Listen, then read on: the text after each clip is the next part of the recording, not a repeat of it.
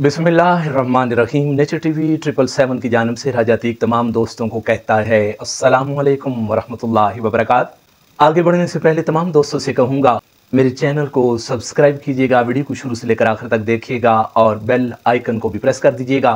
दोस्तों, मौसमियाती तब्दीलियों की वजह से पूरी दुनिया का दर्जा हरारत तब्दील हो रहा है।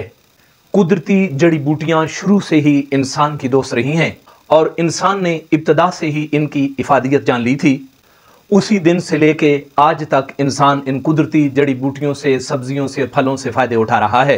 आज बज़ाहिर एक आम, लेकिन लातादाद फ़ायदों वाला काला बीज हरमल की मालूम शेयर करूँगा।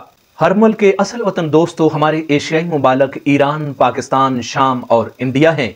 मशरकी ममालक में भी कसरत से पाया जाता है, क्योंकि बुनियादी तौर पर यह रेत में उगने वाला पौधा है। कुदरती नियमतों की इफादियत शुरू ही से बहुत अहमियत की हामिल रही है।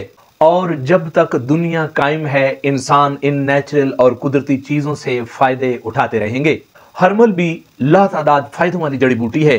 पूरी दुनिया में बड़ी तेज़ी के साथ, तिब्ब नबवी यानी नबातात के साथ इलाज करने की रवायात बहुत तेज़ी से फरोग पा रही हैं। हरमल का शुमार दोस्तों जरासीम को कीड़े मारने और भगाने वाले बीज में शुमार होता है। अगर कोयले के ऊपर हरमल के बीज को रख के धुनी दी जाए तो घर, मकान या जो भी ओपन एरिया होगा, वहाँ से मक्खी, मच्छर, खटमल, लालबेग, छिपकली सब या मर जाएँगे या वहाँ से भाग जाएँगे। हरमल को अगर अंदरूनी इस्तेमाल किया जाए, बीज की शक्ल में या पाउडर की शक्ल में तो ये खून के अंदर तेज़ी लेके आता है।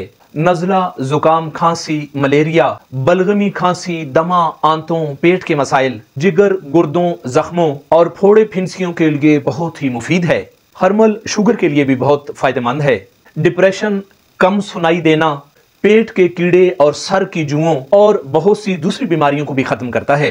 बाज औकात दोस्तों मशहूर है कि हरमल की धुनी देने से आसेब, जादू और जिन्नात से भी निजात मिलती है।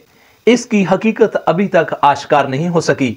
सरसों के तेल में अगर 24 घंटे के लिए हरमल के बीजों को भिगो दिया जाए और उसके बाद सर में इस्तेमाल किया जाए, सर की अच्छी तरह मालिश की जाए तो सर की जुएँ खत्म करता है। सर दर्द से निजात मिलती है, नज़र तेज होती है। अगर दमी बुखार की शिकायत हो बार बार बुखार हो रहा हो तो उसमें हरमल का बीज या हरमल का पाउडर बहुत फ़ायदेमंद है। दिन में एक दफ़ा छह या सात दाने हरमल के पानी के साथ ले लें। और अगर हर्मल का पाउडर दस्तियाब हो तो एक चुटकी पानी के साथ लेने से हर किस्म के खास तौर पर दंग बुखार से भी निजात मिलती है।